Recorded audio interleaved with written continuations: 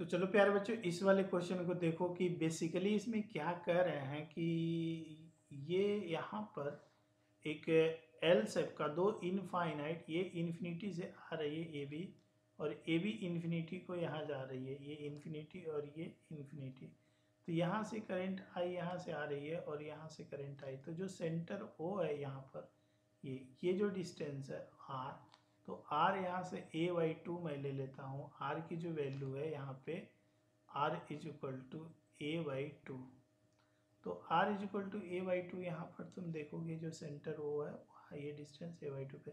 तो इस, ये वाला जो पार्ट है स्टेट पार्ट ए बी तो ए बी की वजह से तो मैग्नेटिक फ़ील्ड ज़ीरो बनेगा। तो ए बी की वजह से यहाँ पर जो मैग्नेटिक फ़ील्ड है, वो तो ज़ीरो बनेगा।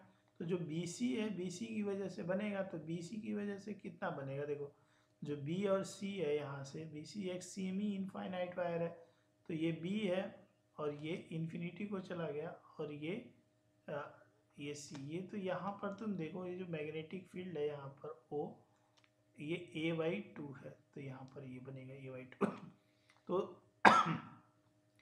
अब आप फार्मूला याद किए होंगे कि magnetic field due to semi infinite wire के I R sine theta one plus sine theta two ये बहुत इंपॉर्टेंट फार्मूला है।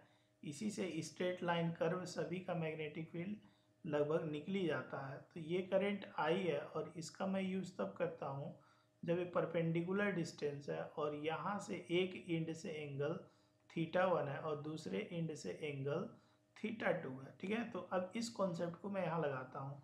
तो ये जो पॉइंट पी है पॉइंट पी अगर यहाँ पर शिफ्ट हो जाएगा मेरे भाई पॉइंट पी इस लाइन पे कहीं भी मूव कर सकता है तो यहाँ पर शिफ्ट हो जाएगा। तो देख रहे हो, जो थीटा टू है, वो ज़ीरो हो जाएगा और थीटा वन इन्फिनिटी को चला जाएगा तो नाइन्टी हो जाएगा। नहीं आया समझ में? देखो, यहाँ से ये वाला, यहाँ से ये तो ये इस, इसी पे दो लाइन आ गया ना? ये वाला लाइन ऐसे समझ लो। ध्यान से मेरी बात सुनना। ये वाला लाइन ये वाला लाइन और ये वाला लाइन एक ही पे आ गए यहाँ पे। ये, और ये चला गया इन्फिनिटी को। तो ये चला गया इन्फिनिटी तो इन्फिनिटी से मिलाओगे यहाँ से ऐसे तो ये एंगल बढ़ता जा रहा है ना भाई यहाँ।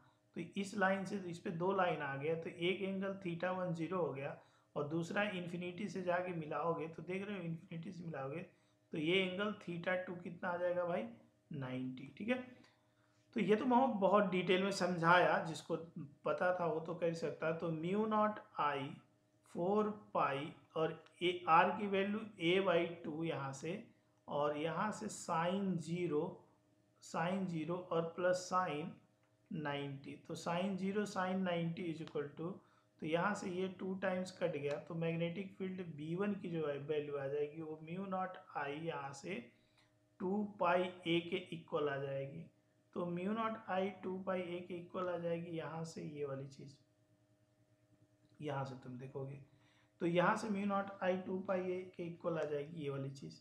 तो यहाँ से तुम देखोगे बाई सिमेट्री देखोगे, जितना इस वायर का, इस पूरे वायर का मैग्नेटिक फ़ील्ड बी वन का होगा, उतना ही इस ये जो वायर है, इसका भी मैग्नेटिक फ़ील्ड यहाँ पर होगा, वैसे निकाल सकते हो बी टू और दोनों का डायरेक्शन आउटवर्ड है तो नेट मैग्नेटिक फ़ील्ड बनेगा, जो नेट मैग्नेटिक फ़ील्ड होगा, वो स्ट्रेट पार्ट की वजह से वो B one plus B two जुड़ जाएगा, दोनों की डायरेक्शन नेट आउटवर्ड है तो ये आ जाएगा म्यू नॉट आई और टू पाई ए और प्लस म्यू नॉट आई और टू पाई ए यहाँ से तो ये आउटवर्ड आ जाएगा यहाँ पे, और एक आउटवर्ड आ जाएगा टू से डिवाइड करोगे तो म्यू नॉट आई यहाँ पाई ए के इक्वल आ जाएगा, और ये जो चीज़ है, ये तो यहाँ से तुम देखोगे mu naught I two pi A के इक्वल आ जाएगा। तो म्यू नॉट आई पाई ए के इक्वल आएगा मतलब फोर्थ ऑप्शन सही है। तो ये वाला जो एक्शन क्लियर बाकी सारे ऑप्शनों में गलत है। तो आई होप कि आपको ये सवाल समझ में आ गया होगा। बहुत बेहतर तरीके से। Thank you. Bye bye take care.